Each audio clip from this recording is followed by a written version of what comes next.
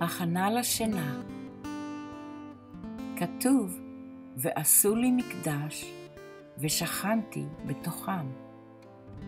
הכוונה על הנקודה שבלב, שצריך להיות מקום מקודש, שאור השם ישכון בתוכה. כמו שכתוב, ושכנתי בתוכם. לכן, על האדם להשתדל לבנות בניין הקדושה שלו. והבניין צריך להיות מוכשר בכדי שייכנס בו השפע עליון, שנקרא שפע המושפע מהמשפיע להמקבל. אבל לפי הכלל צריך להיות השתוות הצורה בין המשפיע להמקבל, כידוע. שגם המקבל צריך להיות בכוונה ועל מנת להשפיע, כדוגמת המשפיע.